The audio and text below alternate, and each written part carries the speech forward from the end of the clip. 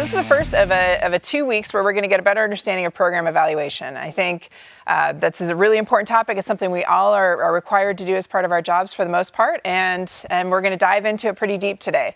But first, let's start by introducing ourselves. I'm Abbey Wick, NDSU Extension Soil Health Specialist, and joined by. Hello, I'm Kevin Sedivec. I'm the NDSU Extension Rangeland Management Specialist and Director for Central Grasslands Research and Extension Center. And coming to us via Zoom as our special guest today is Jean Haley, who we call our guru of evaluations. And I want to introduce Jean so you can introduce herself. I'm uh, Jean Haley, and I do program evaluation. I've been doing it in agriculture since the mid 90s, and I've been doing it on my own since about 2001. And uh, Abbey and I have been working on soil health uh, evaluations, gosh, for the past five, five or six years now, I think. So, yep, evaluations by life.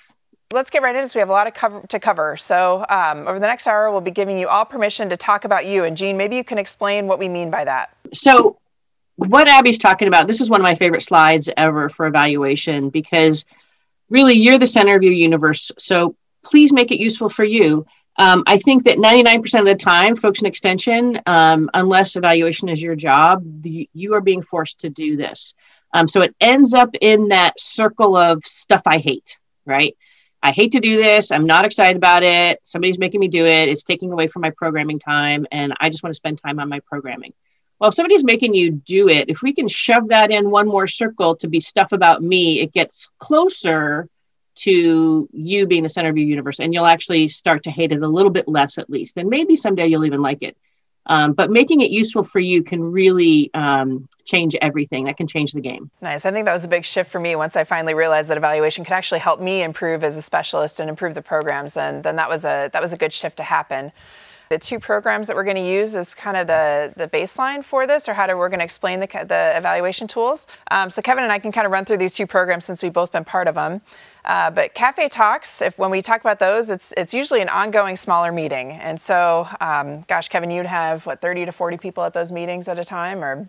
Yeah, it's been interesting. You get anywhere from 25 to 30 to once in a while you'll get 75 people there. It's a great opportunity for us to, to engage uh, with with the county agent or extension agent who, who basically will oftentimes run this program with the help of a, a state specialist or a research specialist that may be tied to a research extension center. And so the opportunity really gives us a chance to engage with not only our, our constituents, but also those other people in, the, in, that community that look at ways to enhance what we know or what they know. A lot of times our producers know more than we know, and it allows us to create and share these ideas uh, across with that group of people that we're looking at. Yeah, so then we also, so if we have that kind of style of meeting, right, the informal discussion style, um, getting a lot of information from other people, and then we also have these large annual events, which I think a lot of people can relate to too. We're all required as specialists to host some kind of large event, um, and in this case, we're going to refer to the Conservation Tillage Conference or the Dirt Workshop, which is is an event that we have in December. The CTC was was one that we held for a couple years jointly with University of Minnesota, and now we have since transitioned to the Dirt Workshop, uh, which was held in person one year and then virtually this past year. So that one typically draws between 200 to 350 people for two consecutive days. A really intensive program where we're sharing a lot of information, and usually people are exhausted by the time they leave that one.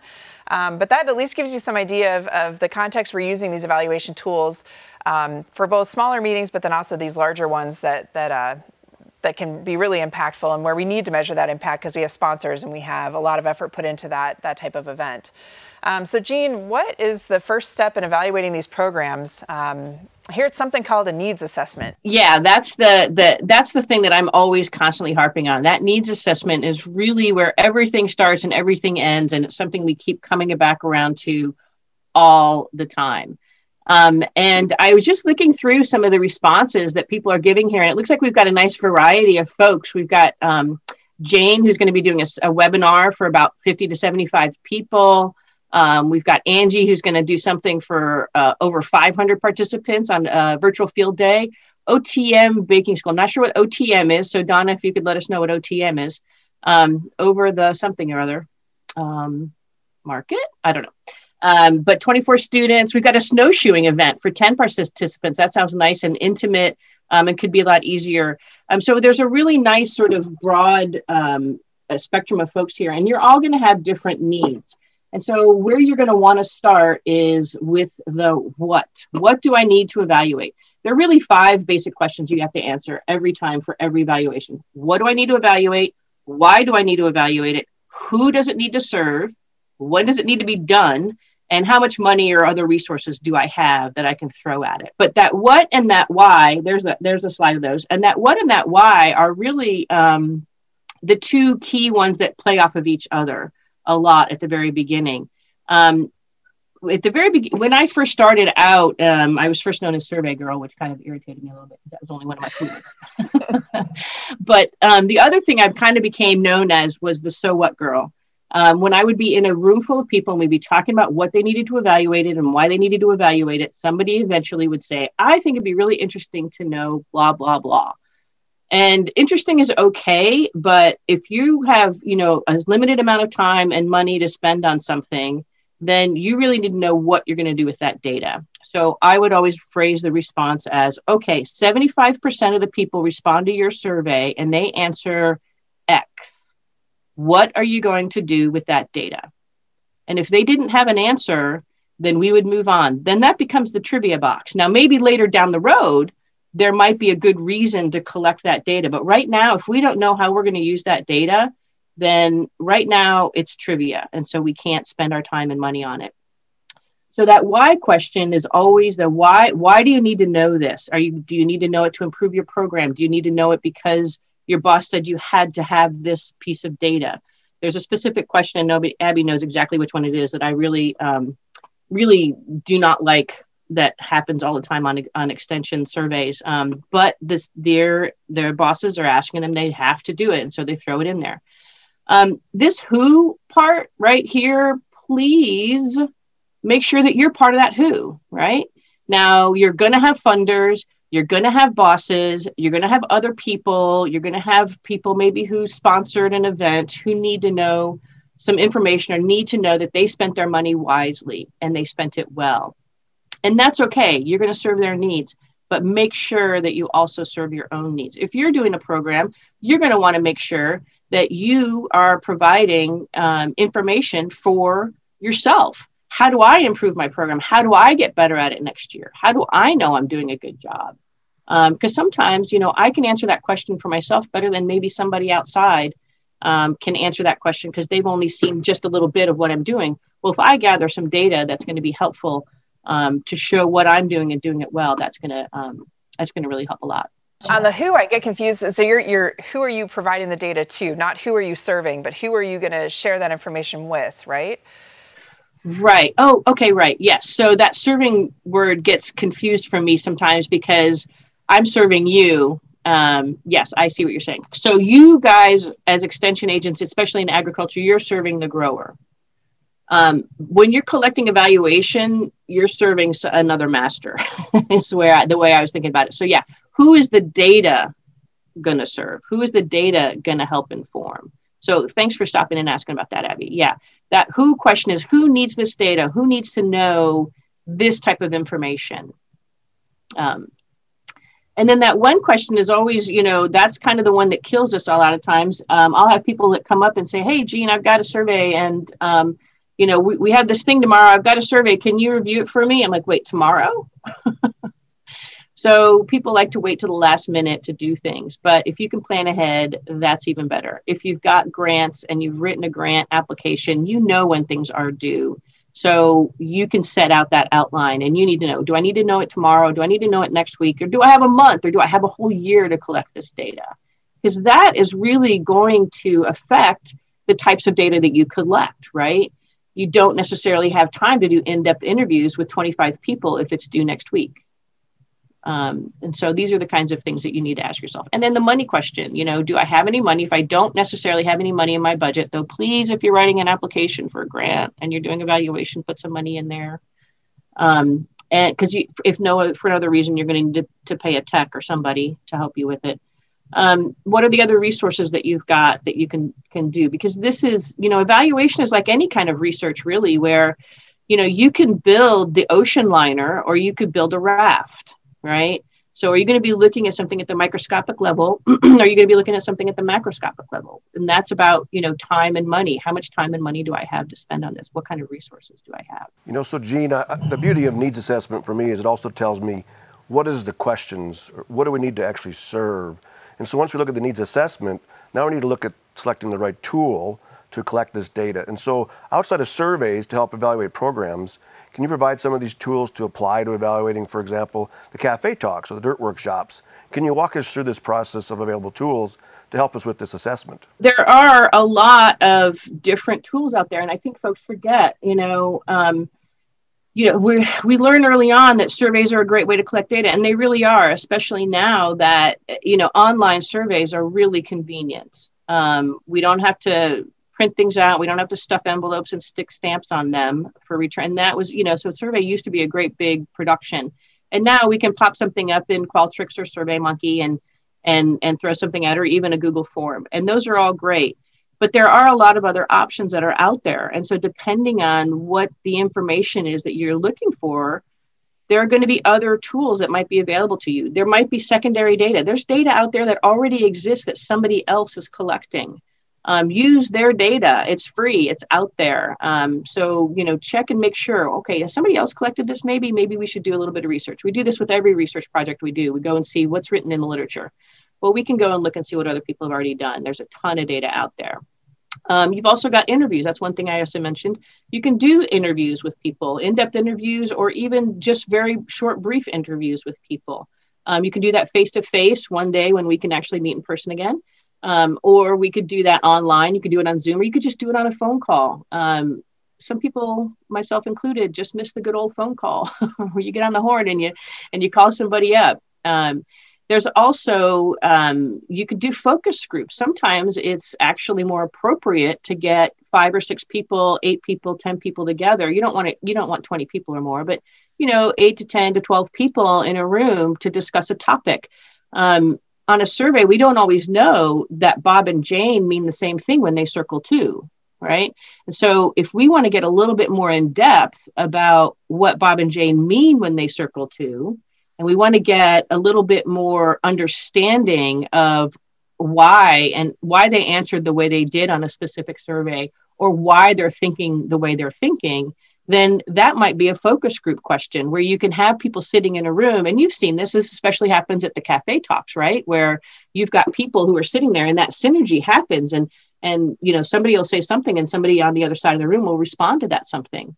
Um, and so that kind of thing happens um, and so if you've got you've got those what else have we got we've got oh network analysis so this was something that uh, was important to abbey um, and when Abbey and I did this needs assessment, um, you know, I have these questions down. I've been doing this for over 20 years.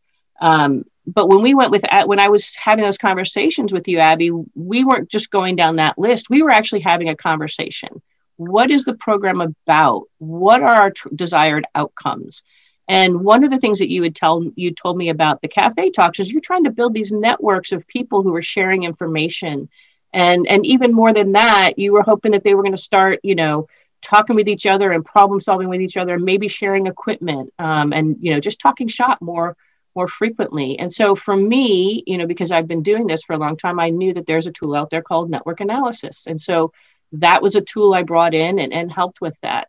Um, gosh, am I missing some other things that we've used, Abbey, um, over the years with our um, with the cafe talks, the surveys? I think I think one of them, like when you're talking about that synergy that's happening at the cafe, where everybody's talking and they're sharing information, and then and then how do we capture that or do we collect that what's happening, right? And that's maybe where the observation comes in. And so we've developed some really intensive observation sheets. So Jean, if you want to talk about those, that'd be great. Yes, thank you for that reminder. I knew I was missing a really good one. Um, so observation is something that we do all the time. We walk into a room and we see what's happening. We see who's interacting with whom. We see, you know, how it's set up, and maybe it's not set up the right way. We walk in, and we go, oh, this isn't right for a meeting, and we start rearranging things. And so when we do this, we're, um, you know, we're we're making these observations, and then we're making judgments, and we're moving on it and acting on it right away. So observation and evaluation is just being a little bit more systematic about how you're collecting it. And so, as Abbey mentioned, we have sheets that we use where people actually check off boxes. We know specific topics that are going to happen. They check off the boxes um, that are going to that are that people talk about. But we also want to know are they engaged? Um, and we can see when people start picking up their phones and they're looking at their phones the whole time. You know, or they start texting with other people or they have start having conversations on the side with other people. These are little signals that that tell us that they're maybe not engaged in what's happen, actually happening um, at the front of the room. Uh, and so these are things you can collect these these data a little bit more systematically. You can do this in field days just as well right? You can see when you walk from field to field um, you can see little groups happening and people starting to discuss things. And if you're kind of walking amongst them you can hear if they're talking about you know what their kids did in school that day or if what they're talking about is what just happened in that field that they were just in and starting to share that information. So these are things that we can do and it's eh, observation is free if you've got somebody there. One thing though too is that if you're the only one running the meeting then observation is going to be not a great option for you. You want somebody else who's not running the meeting to be able to be looking at what's happening around the room and recording data yeah, that makes a lot of sense. It's hard enough to run a meeting, let alone take all the data and collect all the information. Jean, so there was a great question on the chat, and one of when you do surveys, they ask when doing a survey, what percent response should you expect um, to be a good survey? The eternal question, right? So right. I will share that when I first started um, doing this in agriculture uh, 20 years ago now, on my own, I could promise my clients um, 75% or more response rate. Uh, things have changed significantly. And I'm not able to, to actually promise that anymore because people are surveyed to death. Okay. Every time we turn around, there's another survey in our inbox or in our mail or, you know, at the counter when we're waiting for our food or at the hotel or, you know, everywhere we go, there are now surveys. And so survey fatigue is real, just like Zoom, you know, Zoom fatigue is real. Survey fatigue is real. And so you have to maybe account for that. Um, it's funny, you know, sometimes I'll see industry surveys by, you know, big corporations, DuPont or some of these other guys, and they'll survey and they'll have like a 1% response rate. And for me, I just think, wow, you cannot start generalizing that data. We all know that. That's that's just not acceptable. But for you and what you're doing, one of the things that I am usually able to do on a on a grower survey, um, and this hasn't been true in in um, major crops, is I worked mostly up until I met Abbey. I worked mostly in specialty crops, so you know fruits and vegetables, and so I could almost always get at least fifty percent of the acreage of whatever that crop was. Now, in major crops, that's going to be completely different again. Uh, if you have an event that you're evaluating, I think that you should shoot for at least 50% of a response rate. Um, I know we all want to get that 90%, and we feel like, why aren't they answering this? I worked so hard. Um, but we all know we're all really busy. Um, and so we just see those things, and sometimes they're just not at the top of our priority list. Uh, one thing that's worked well for Abbey is because she's, you know, created relationships with a lot of the people that she works with, and a lot of the the growers who attend her meetings, um, she can make that personal plea. And so when you can make that personal plea, people want to do things for you. You know, they want to they want you to succeed as well. And if you let them know that this is really important to you, not just because your boss told you you had to do it, but because it's information that you're then going to use, people are going to want to do that for you. And then there's also the, you know, the karmic bank of response rates. Okay. So if you're sending out surveys, you need to start actually a- answering some of those too. Okay, there's a whole karma thing there. Yeah, I answer everyone I get from Verizon or whatever. they say, "Do you want to take the survey?" I take it. yeah, because you got to do it. I'm not saying you have to do everyone, but yeah, you got to, you got to, you just gotta because you know someday that's going to be you asking somebody else to fill out that survey. I'm going to need to change my uh, format and start answering some of these surveys. Yes, you are. so, so I think, you know, like Jean, Jean said, I've made that personal plea multiple times to, to the farmers or whoever's answering our evaluation, our surveys. And, um, and, and I think it's, and I think telling people how that information is going to be used to benefit them is is the angle I take. So I, I, let them know that that we're not just collecting this because because my bosses want it or because I need to write an impact right. report or I need to do something like that. I'm collecting this because I genuinely want to make these programs better. And we've used a lot of that information to make the programs better. For for example, on something like the the conservation tillage conference, when we when we surveyed that one, we found out from the from the survey that that people didn't feel like they had enough time between the sessions. So we were trying to cram way too much information in, in too tight a time period. And we were giving them, I think, five minutes between sessions. And people really didn't like that because they felt like they're being, you know, pushed from one thing to the next. So the next year we had 15 minutes between sessions. We gave people time to wrap up. We made sure that that 45 minute time slot that people were attending a session that really only 30 minutes of it was content, 15 minutes for Q&A and truly for q&a not just the fake q&a like if you run over uh, but truly q&a and then 15 minutes between sessions to get to where you're going and and after that it was like you could just sense the whole room was just way more relaxed people enjoyed it more they didn't feel like they were getting so much information crammed down their throats uh, they had time for those hallway conversations that we know are important. And, and so as soon as I tell them that that's how the, the information is used, then all of a sudden it clicks and it makes sense as to why we're doing this and pestering people for information. True. Mm-hmm.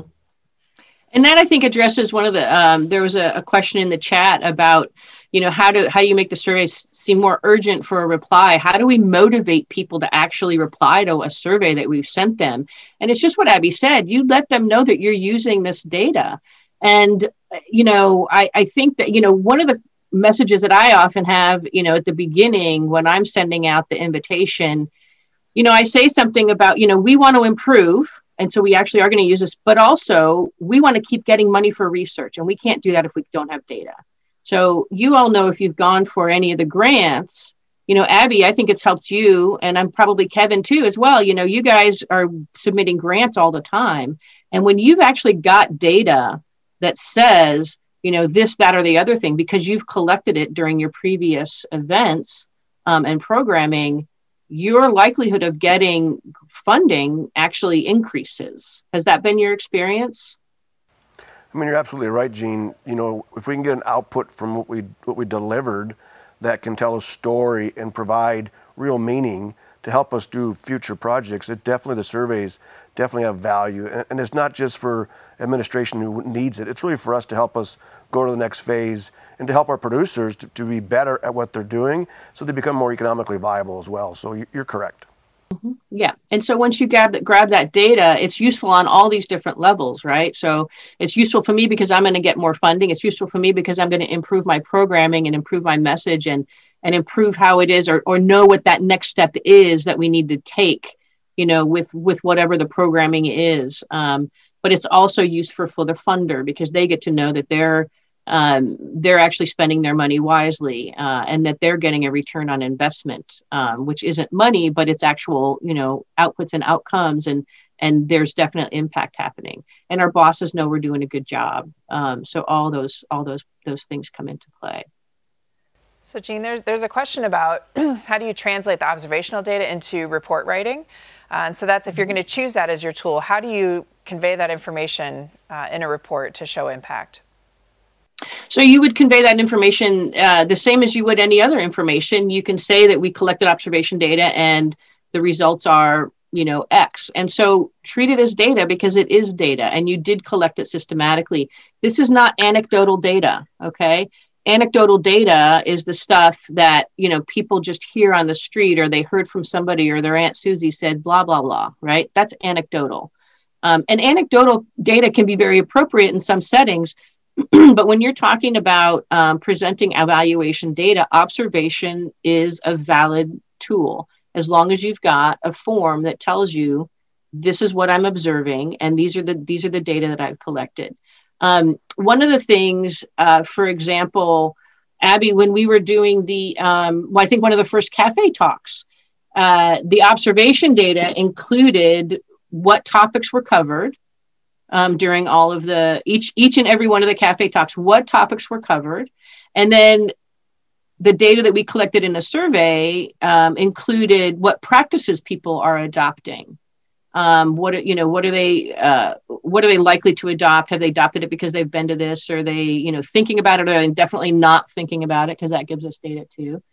Um, and when we put together that data we could see in our observation data that at 100% of the meetings we covered cover crops and cover crops were one of the biggest um, adoption practices that that were being that was that was happening was that was being impacted right we had more people in that area am i remember that data correctly abbey Yeah, yeah, I remember seeing that. That it was um, that we talked about 100% of the time, and then we had really high adoption rates for cover crops. Now we also talked about reducing tillage 100% of the time, but we didn't see those adoption rates for for reducing tillage, specifically in strip till. And then we connected mm-hmm. that with some other data we had collected that said that cost of equipment is a major barrier. And so now we can see that it's not necessarily, you know, that, that people are, aren't seeing it in their area, so they're not adopting it. it was really that that reducing tillage in the form of strip till was not being adopted because of cost of equipment, which which then we can say, okay, well maybe we don't need to cover that as much because that's a really specific group of people that's going to adopt that practice. Right. And and it was also that it wasn't our messaging, right? It's not our messaging and how we're delivering this information. That's not the reason they're not adopting it. Um, we're teaching it just fine. We're communicating this, this, you know, the importance of it just fine. It's that they can't afford the equipment, so it's just not going to happen.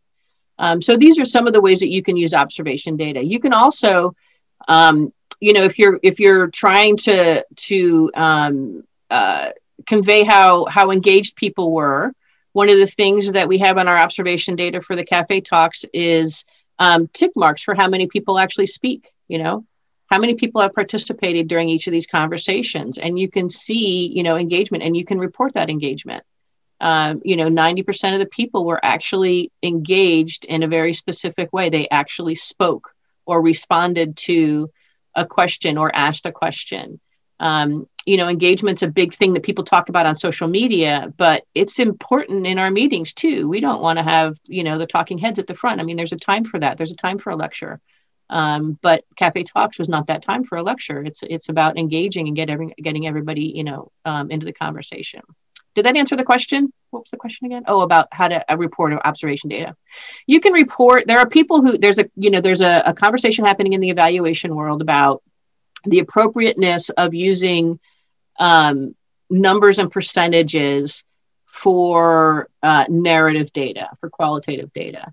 And there are those who think that it's not really appropriate to say, you know, 60, 65% of the, the people used this word or said X. Um, it's more appropriate to say, you know, the majority of the people said. Um, that debate's still kind of going on. I tend to, if it's 100% of the people said this, then I'm fine using that percentage. Um, and there are certain areas where I'll use percentage, but otherwise I'll say, you know, the majority, the vast majority of the people said, you know, yada, yada, or they responded in this way um, to this topic. Um, and there's a lot of, you know, you can Google, there's a lot of qu- qualitative, how do you present qualitative data? Um, but some of the data that we're collecting through observation is quantitative. How many people actually participated? Those are tick marks. Those are those are actual numbers. Jean, can you describe network analysis more in depth? Because it definitely will help me if you if you describe it well. well, let's see. let's see if I'm up to the task. Um, all right. So network analysis. Uh, I'm not going to give you the whole background of it, but you've all seen the maps that can look like big old hairballs of lines connecting everybody. Um, it was a big thing going around in Facebook for a while, um, several years ago, where you could one of those little plug-in apps where you could say, you know, map my friendships, and they would pop up a map, and it would say how all your friends are connected right? So that's a map of all these connections, and that's basically what we're talking about as a network. Um, networks are used a lot by the CDC, which more and more people are now aware of uh, because of COVID, um, where they're talking about where does it start and then how does that follow through. This is something in infectious diseases they've been using for years. Um, for decades, they've been using network analysis because they want to know how something's going to travel if it's an infectious disease. Well, we want that same thing to happen with our our information, right? We want our information to go viral. We want our information to be an infectious disease that catches as many people as we can, right? So, how do we map how that's happening? And so, for the cafe talks, we did that in two ways. One way was um, just by virtue of having attended a meeting, you're part of that network. So, everybody at the table is connected to everybody at, at a specific meeting. And now, if we have several meetings, you know, we're going to have those clusters, but are there some that actually connect those various meetings? And is it more than just Abbey because she's at all of them? Right. So, is it other growers or other agents or other consultants who are there? Because you can look at that map then and you can see who some of these key people are, where if they were to be taken out of the network, then, you know, we've got this group of people here that's going to be left out of the loop, right? So that's one of the things you can do. The other thing that we did um, for network analysis for the cafe talks was we asked them specifically on a survey who are the three up to three people three growers who are three growers that you talk shop with about specifically about soil health over the last you know year? Who are the three people you talk to most about soil health? Um, and then we asked them also who are the three non-growers you talk to about soil health over the past year? So you want to be very specific about a topic not just you know were you just at the bar drinking beers with the guy? Um, if you're at the bar drinking beers and talking soil health then you know that qualifies so with this information, I could start connecting, you know, who people are talking to and what that network looks like, right? So each spot is a person, and then the lines are drawn to other people that they've either named or who have named them, right? So it can go both ways. One of the things that we learned uh, in this past round, I think it was the 2019 survey, Abbey, was um, when we looked at the data we had map we had a map of all the growers and all the consultants and all the people who were named that they talked to. And sometimes it was bankers and sometimes it was consultants and sometimes it was ndsu folk. Um, and so we had that big map. All the spots were people all the lines were people that they talked to. And if we took out all of ndsu then that decreased the density of that graph I can't remember. It was like, I want to say it was at least threefold. When you added the NDSU folks back in, it was at least threefold, three times the number of opportunities to communicate information. So this is a really good, helpful way to see that, you know, we are actually serving a purpose in this community by getting this information out because it's not we asked them to say that. It's not we mapped, we were at a meeting we ask the growers who do they talk to about soil health or about grazing or about cover crops or about you know whatever your particular topic is? And then we can actually see that data. I don't know if that clarified or not um, if that muddied it a little bit. Well it definitely helps me and i, and I remember that graph and it, it does show a, a, a telling story of the value of ndsu and the role that we play in in basically helping create this soil health uh, community and, and, education that goes with it. So I think it was a great way to explain it. I, I think I get it a little bit better now. At least I appreciate it. Okay. okay.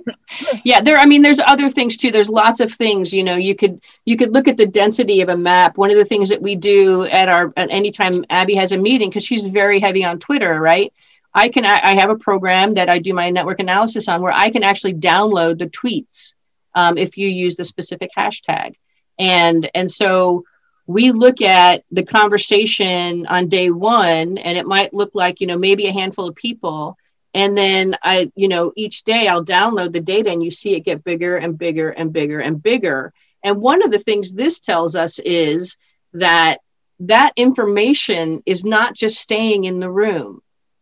And this has always been a, you know a concern or you know an interest at the very least of programming is you don't want it to stay in that room. You want that information to get shared and you can see then that we've got this whole network of people who were not at the meeting.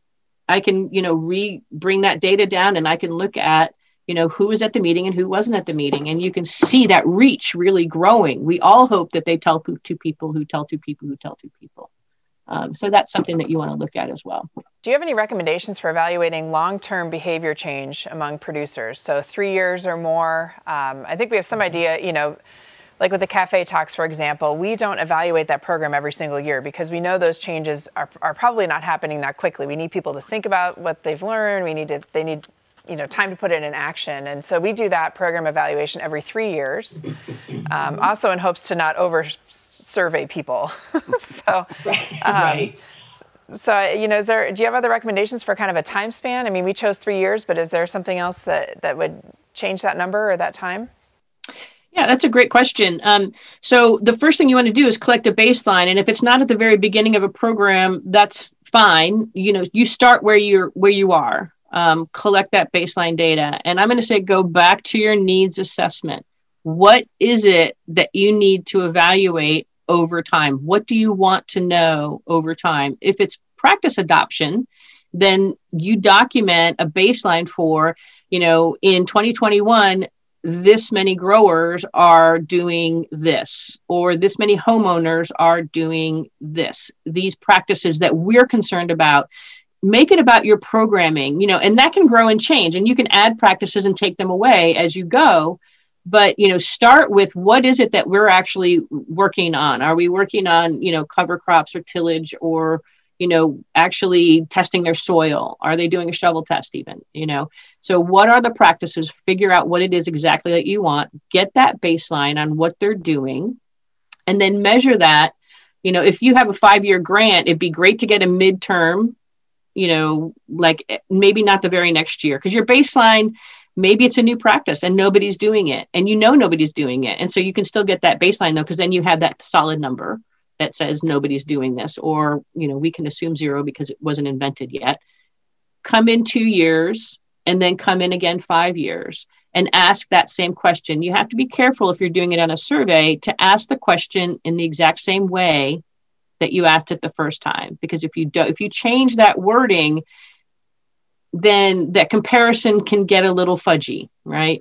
And it could be it could become apples and oranges or it could be you know um, tangerines versus navel oranges. So they're oranges, but they're not really the same variety. So, you know, your data gets a little bit fuzzy there. Um, there was at some point uh, a few years ago. I haven't looked at it recently, but several years ago there was a study done in that that said, you know, in agriculture, it's you know eight to ten years is generally the time frame for adopting a new practice that was a you know that was kind of a, a big deal that wasn't a you know just a throwaway practice it was a, a big deal um, and I, you know, I think that that time frame might have gotten shorter. But as we know, most grants at that point, and even still, you know, three to five year grants. Sometimes now they're just yearly grants, but you know, you can usually get a three to five year grant if you're working on something big. Um, and so you know that by year five, you're not going to be able to say, you know, this percentage of growers adopted, you know, the, the percentage that we really want happening by year five. What you can document though and something that I do recommend that you do and you build into your evaluation is um, are questions that help you answer the likelihood that they'll adopt the program, the practice. So things that we've built into our surveys are um, opinions about a specific type of practice um, and also barriers questions. So if you ask questions at the beginning, like what are the barriers to adoption, and you've got things like lack of knowledge or, you know, cost of equipment or, you know, landlords or you know you build your your list based on what you think those barriers are. You give them that option to say other and fill that in because there are often things that we just don't even think about. And you've got those numbers at the beginning. And if those numbers start to shift you know cost of equipment isn't going to you know that probably isn't going to go down much, but it might. Um, but other things like lack of information or confidence in the practice, or you know, we don't know that it's going to work in this area. You know, we want to see if there's a shift in that, and if there's a shift in that number from year five to year from year one to year five, then we can say there's an you know there's a high likelihood we've increased the likelihood that they will adopt this practice. Yeah, all great information. Sorry, it, Evaluation is my life. and, and, there's a lot to take in. And so maybe let's go through a couple slides that you have, Jean, on tool mm-hmm. selection. And maybe if we go through this, it'll solidify some of these concepts for, for people. Um, so on this one, we have, you know, what do you need to know? And then what's the best way to know this? Okay, so we, we've kind of lined this up, Jean, right, with with things from the cafe talk, right? So mm-hmm. from that program, we needed to know what practices are being adopted or considered. Okay, mm-hmm. so do we want to have people in the chat to kind of throw some ideas in there on what that might be, or we've got them up already now? well, we've got some up already, and I think that you know, but it would be good to see if anybody else comes with any other ideas. I mean, obviously, we can ask the growers, right? Um, but I'm going to bet that most of you haven't thought of just doing observation on this. You can actually go and see, you know, if somebody's farm is blowing away, they're they're not doing no-till. Um, you know, there might be other things you'll see um, new structures built or new things that are happening, and you'll be able to actually obs- observe that on their farms. Um, Kevin, do you get a lot of, you know, just driving around? I mean, you can see some of the new practices or grazing management approaches that you're recommending. Yeah, I mean, if you get out in the state, you know, you can see what's been implemented or not implemented. And, you know, there's a number of practices that we talk about, and we may not see it. And you wonder why. Why aren't they not implementing it? And that's another question that I think, okay, here's opportunities. Why aren't they implementing them? And I, I don't know why. It's a great question to ask. You can observe it mm-hmm. or observe not observe it, but why? Mm-hmm. And that, well, that why, for me, that would bring it right back to a focus group. That'd be a great opportunity to have focus groups to follow up on that why question. You get a group of guys together who aren't doing it, and they'll be, you know, usually happy to tell you all the things that are wrong, right? People are always happy happy to tell us what we're doing wrong. um, and so if you get them together and that follow up of, you know, I've observed this happening or not happening, and if you want to get into that deeper understanding, then then yeah, focus groups are great, or even one-on-one conversations. If you're going to visit their their their farms you know, come up with your list of questions and make sure that you ask those exact same questions to each of the growers. And those are going to lead to other topics and conversations. But if you start with the same header, then you've collected data um, systematically. Um, you can also go collect on-farm data. You know, for for Abbey's practices, you know, you can go and do some soil tests and see has their soil health changed. You know, what's going on in the soil horizon, or um, you know, those kinds of things. Um, secondary data there are lots of tools out there and we're going to give you some some resources at the very end there's a couple of websites that, that go that have actual tools that you can use and surveys that you can use. There's also you know secondary data. There's other people collecting things. Abbey you were talking about um, we were we were getting some questions about our cover crops being adopted by by pulse crop growers or by um, sorry edible bean growers? And there's this great report that greg endres at carrington rec is part of and he and he there's a report that comes out that says X number of acres were reported by growers as they used a cover crop, and and so you you know that was something that I I didn't know it existed until Greg sent it to me and said this exists, and so uh, but it was great information because then I could then incorporate that into our practices, you know, on things that were were of interest. Uh, so the practices that we're demonstrating or the the grants that we're writing for the practices we'd like to adopt to that commodity group. Um, so yeah, doing a little searching, contacting your colleagues, finding out. I mean, all of us are writing reports all the time and including this information, and it may just not occur to us that that might be important to somebody else.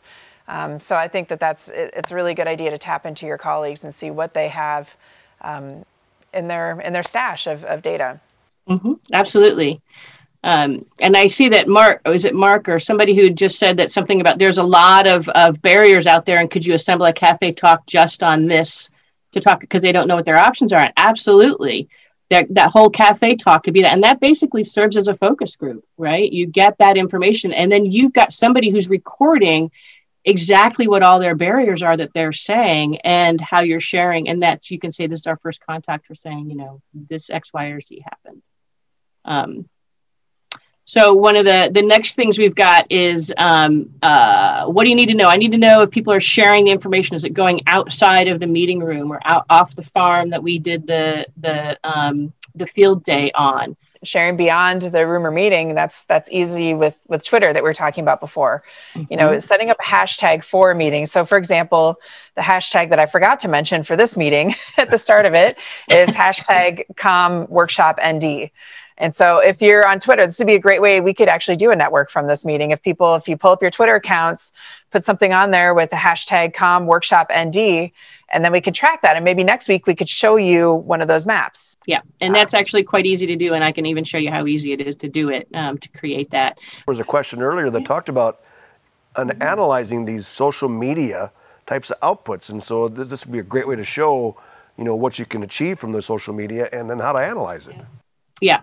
And i'll try and take some screenshots because i'm not able to actually share my screen in this format but i'll take some screenshots of the software that i use um, so that you can see exactly you know it's a drop down menu.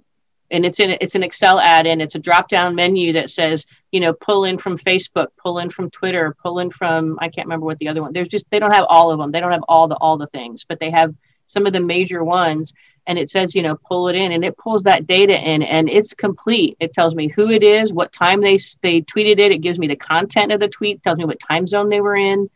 Um, it tells me it gives me their you know the description of who they are um, which is that public thing that we put in our twitter thing. So uh, always keep in mind that when you're using twitter all that all that's public. So don't tweet anything you don't want your mom to know. Um, so it's it's it's going out there Um, and so I can actually, um, you know, pull that data in and then, you know, I can map that map, but I can also look at that content and look at, you know, I have the data, I have all of the words that everybody used in their short tweets, and I can do a content analysis on what was it they were talking about within the NDSU, um, the, the COM workshop ND hashtag. All right, because there's going to be there are several of these happening every week, and you know maybe this one is going to be about evaluation, but the ones two weeks ago probably evaluation wasn't going to be one of the things in that content, and so we can actually pull down content and associate them with different you know different components.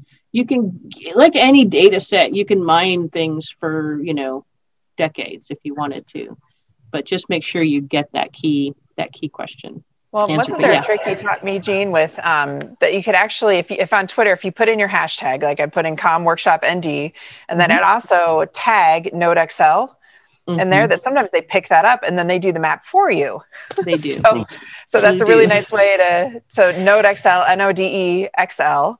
X, right? Letters and XL, yeah. XL. And I don't know if you, I forget if it's an ad that you put before it or a hashtag before, but somehow they pick it up and they will map mm-hmm. it for you both of them, you know, either one of them works. I think they have a bot that tells them, that, somebody, them that somebody um, tagged, uh, them. tagged them. And, and uh, yeah, the very, yeah, first, the very time, first, time, you know, we did you know, that. We did I, that. I downloaded it and I had, you know, tagged the software, pardon me, the software that I'd used. And this is something I think for any software that you use, if you're using a very specific piece of software and you tag that software company, um, or that organization or whatever, your reach is going to increase exponentially, right? Because they're going to grab that and they're going to let people know that they're talking that there's somebody talking about us. Here it is. Well, these guys at NodeXL, they grabbed it. They grabbed a couple of pieces of detail that that were in some of the content, and they cranked out other maps that were just, of course, beautiful and brilliant because they literally wrote the software.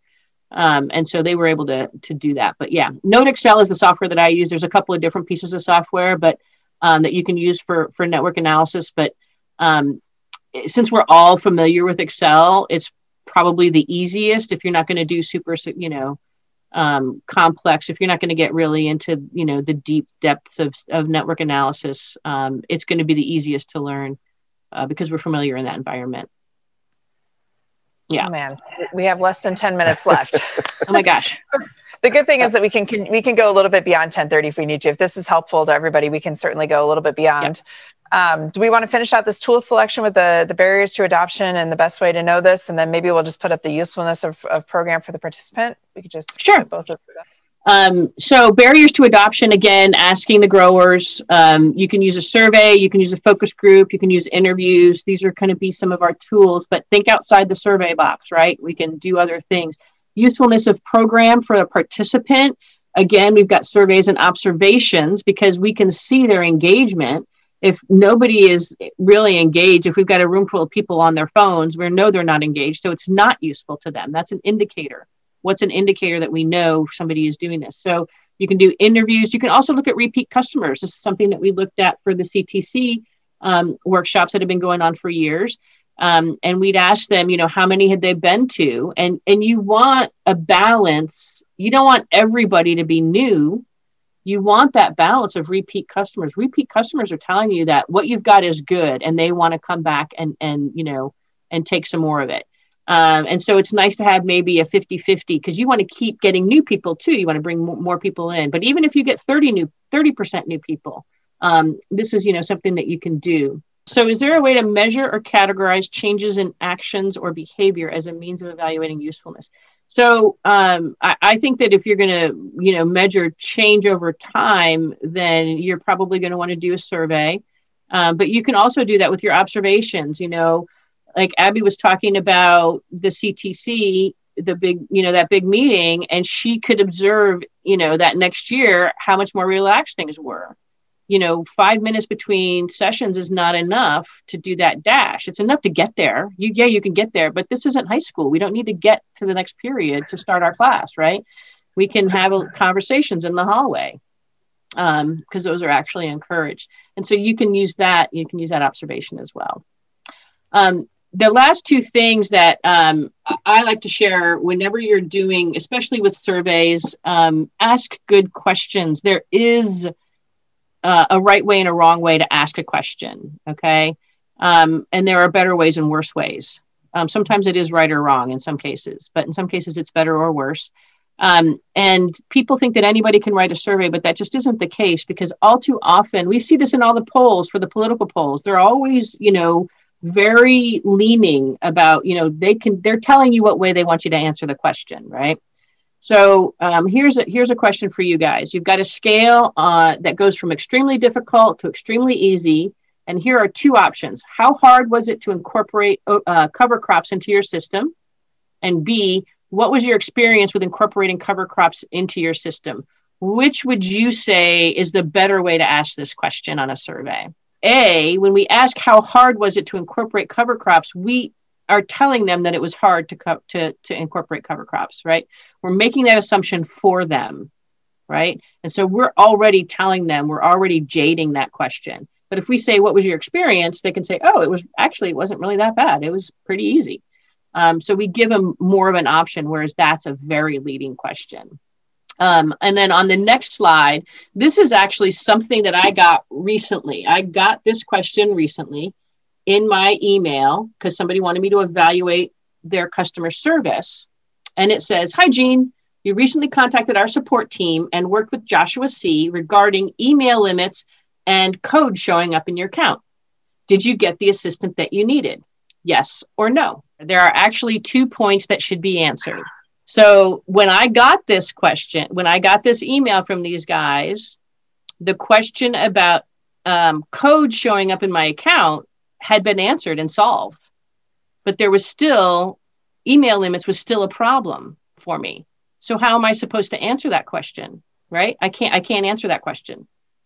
I can't i mean i could say yes or no but you know, I, I emailed Joshua, the guy who was actually helping me, who was super helpful. And I said, Hey, I'm not answering this question because I think that's going to come back to you on your performance review. If I answer this no, but I want you to know so that you have actual documented evidence that says you were great and you helped me with this problem. The other department over there that's working on email limits is still not done. Um, so, yeah, this is that thing. And these are called double barreled questions. And um, it's easy to do it. But if you see that word and, or or in your question, it's a red flag. It doesn't mean it can't be there. It just means, hey, stop and take another look at this question. Is this a double barreled question? Um, I've seen questions with, you know, six ands in them. And it just is, it just is like, really, how am I supposed to answer this? Um, this is the University of Wisconsin has an awesome evaluation program, fyi.extension.wisc.edu. If you were to just Google University of Wisconsin Extension evaluation, you're going to get to this page. And you can see they have planning programs, designing programs, evaluating programs. And the evaluating programs, they've got a whole slew and ton of resources, um, pardon me, and tools and useful tips and, and handouts and, and things. And then the next page is the Western IPM Center. If even if you're not doing IP, IPM as integrated pest management, for those of you who don't work in ag, um, the the even if that's not what your area is they actually have gone through uh, all a bunch of like surveys network analysis focus groups secondary data case studies interviews. They've gone through each of these and and outlined when is this appropriate and then some tips on how to do it um, and then some resources for how to do it well so this is actually, even if you're not in agriculture, it's a great resource um, to go to, to to find out a little bit more about each of these methods, methods that you can use for evaluation.